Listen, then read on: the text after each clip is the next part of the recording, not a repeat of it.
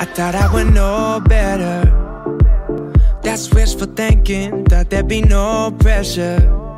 una colección que está inspirada un poco en, en, el Art Deco y un poco en el altiplano, entonces eso se ve en las estampas y en los colores.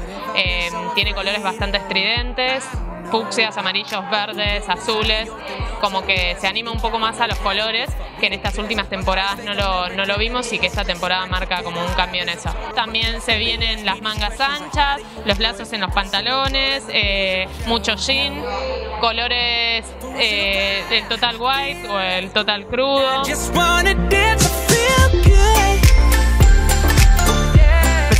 Colección de Cher, ¿viste algo ya de la ropa? Sí, estuve mirando, hermoso todo. Ya me enamoré de un par de cosas. La verdad que muy buena la nueva colección, las estampas y el floreado. La verdad que la colección nueva es muy colorida, se usa muy descontracturada. ¿Qué es lo que tiene Cher?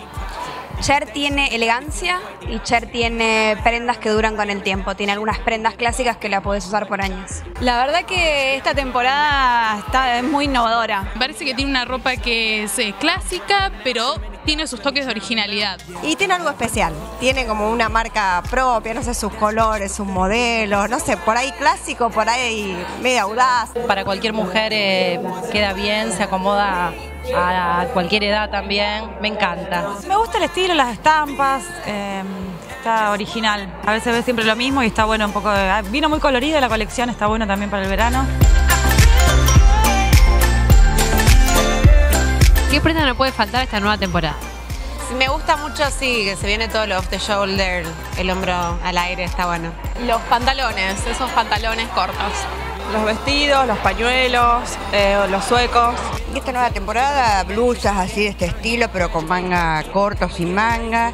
Las camisolas y las polleras.